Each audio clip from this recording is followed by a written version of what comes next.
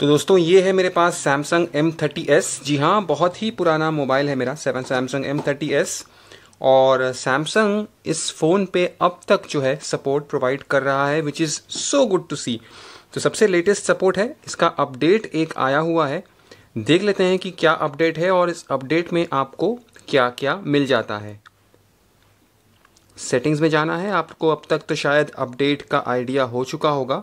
यहाँ जाने के बाद सॉफ्टवेयर अपडेट वाले सेक्शन में आपको दिख जाएगा एक एन लिखा हुआ विच मीन्स सॉफ्टवेयर अपडेट आपका नया आया हुआ है। यहाँ क्लिक करने के बाद डाउनलोड एंड इंस्टॉल पे आपको क्लिक करना है और देखेंगे यहाँ पे नया अपडेट आ चुका है और 729 MB की फ़ाइल है और सिक्योरिटी पैच है फ़र्स्ट सितंबर 2021 बहुत ही बढ़िया बात है कि सैमसंग अब तक इस फ़ोन में सपोर्ट प्रोवाइड कर रहा है। जनरली मैन्युफैक्चरर्स करते नहीं है इतने पुराने फ़ोन्स में। एनी हाउ इसको कर लेंगे अपडेट और दिखाता हूँ आपको इसके टॉप कुछ फीचर्स जो कि हमें मिले हैं एम थर्टी एस के इस वाले सेप्टेम्बर अपडेट के साथ।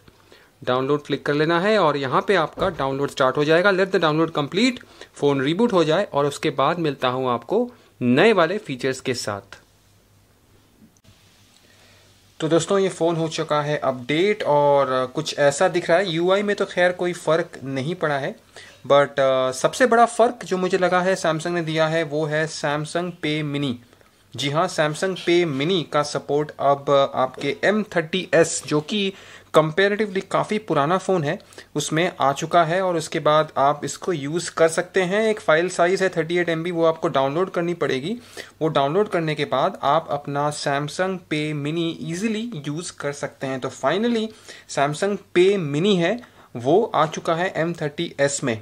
तो ये एक अच्छी चीज़ मुझे लगी इस वाले फ़ोन में बिकॉज़ जनरली क्या होता है ना इतने पुराने फ़ोन में आ, कोई भी मैन्युफैक्चरर इतने अपडेट्स नहीं देता है। तो सैमसंग ने दिया है which is a very very good thing और मुझे लगता है सैमसंग इस वाले फ़ोन को आगे भी काफ़ी सपोर्ट करने वाला है।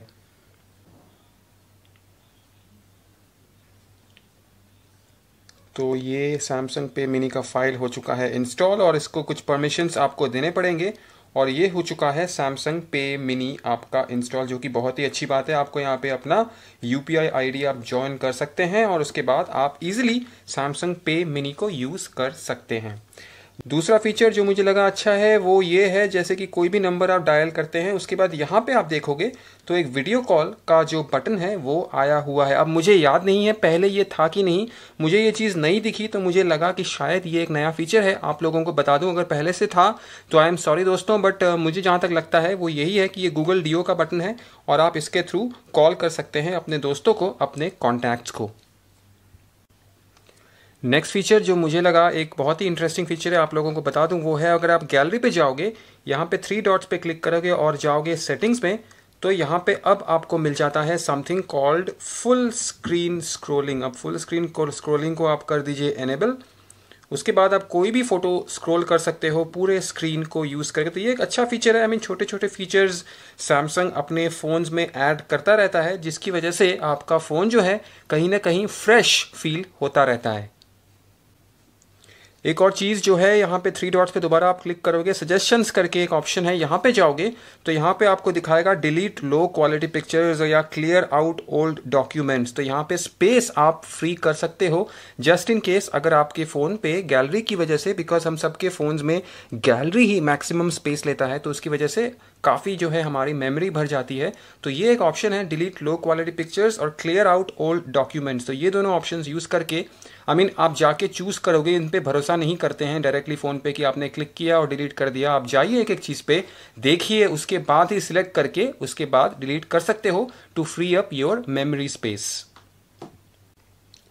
एक और चीज़ जो मैंने नोटिस करी, वो ये है कि कैमरा का जो वर्जन है, वो अपडेट कर दिया गया है। कैमरा पे लॉन्ग प्रेस करके अगर आई पे जाएँगे आप तो यहाँ पे जाएँगे नीचे स्टोरेज में और यहाँ पे 11.0.15.99 वर्जन अपडेट कर दिया गया है। अब फीचर्स तो ऐसे कुछ जुड़े नहीं हैं कैमरा में बट कहीं ना कहीं वर्जन जब अपडेट करता है कोई भी मैन्युफैक्चरर तो कहीं ना कहीं जो है एफिशिएंसी बढ़ जाती है आपके उस पर्टिकुलर ऐप की। तो आई होप कि कैमरा ऐप की एफिशिएंसी बढ़ गई हो। अब इमेज क्वालिटी में कोई सुधार आया है कि नहीं, उसके लिए मुझे अलग से एक छोटी सी वीडियो बनानी पड़ेगी। After I click some pictures with the new updated camera of the Samsung M thirty S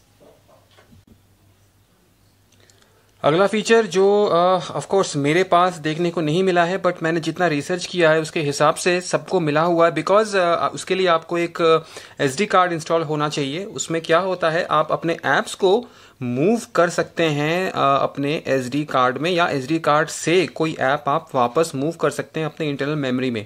कोई भी ऐप है जैसे यहाँ पे स्पॉटिफाई ऐप है ऊपर से यहाँ पे आई बटन पे जाइए और यहाँ पे जब आप स्टोरेज पे क्लिक करोगे तो यहाँ पे इस जगह पे एक चेंज करके एक बटन आना चाहिए, जिसकी वजह से आप उस वाले पर्टिकुलर ऐप को अपने मेमोरी कार्ड में डाल सकते हो या मेमोरी कार्ड से अपने इंटरनल मेमोरी में डाल सकते हो सो so दैट आपका जो स्पेस है स्पेस मैनेजमेंट ओवरऑल सही हो। तो काफ़ी ऐप्स यहाँ पे छोटे छोटे अपडेट किए हैं। कैमरा का वर्जन अपडेट हुआ है फ़ोन का वर्जन अपडेट हुआ है मैसेजेस का वर्जन भी जो है सैमसंग ने अपडेट किया है। तो छोटे छोटे अपडेट्स ये बहुत ज़रूरी हैं to make your phone function efficiently और मैं खुश हूँ ये जान के कि सैमसंग ने अपने पुराने फ़ोन के यूज़र्स को भी ध्यान में रखा है। आई डोंट थिंक ज़्यादा मैन्युफैक्चरर्स ऐसा करते हैं बट एक तीन साल, चार साल पुराने फ़ोन को भी अगर सैमसंग एक इंपॉर्टेंस दे रहा है, उसका मतलब यह है कि आप सैमसंग के फ़ोन्स मुझे ऐसा लगता है, आराम से बिना किसी चिंता के खरीद सकते हो। तो ये छोटा सा वीडियो था दोस्तों छोटा सा अपडेट जो ये आया है वेल छोटा सा तो नहीं है, सात सौ उनतीस एम का अपडेट है बट जिसकी वजह से आपके फ़ोन में काफ़ी छोटे छोटे नए फीचर सैमसंग ने जोड़ दिए हैं। तो मिलूँगा बहुत जल्द एक और नए वीडियो में। फ़िलहाल, अगर आपने अपडेट नहीं किया है तो ज़रूर कर लीजिए because phone is running smooth और काफ़ी पहले से स्मूथनेस हो गई है। एम अब वो लैगी फ़ोन नहीं रहा, जो एंड्रॉयड 11 के जस्ट बाद हो चुका था। So thank you guys and girls और मिलूँगा बहुत जल्द एक और नए वीडियो में।